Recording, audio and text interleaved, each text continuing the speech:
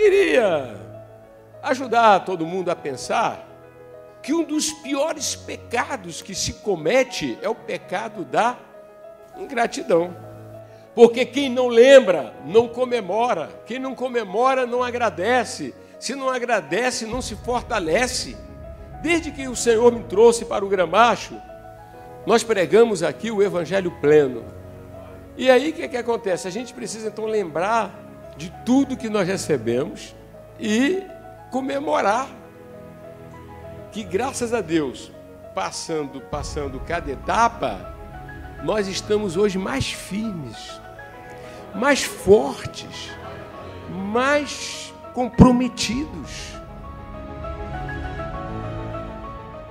Eu creio que nós somos daqueles tipos de Josué e Caleb, que se mantém na promessa, nem o tempo, nem nada faz você voltar para trás ou mudar.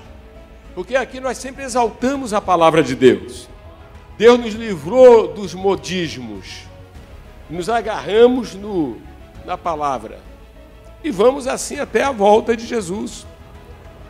Esse oceano da graça, da misericórdia de Deus é porque foi pago um alto preço, meu irmão. Mas os crentes hoje querem facilidade.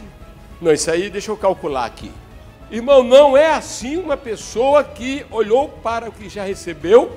Lembre-se, não somente do que você já recebeu, né? E você está experimentando no presente, mas o que você já tem por herança.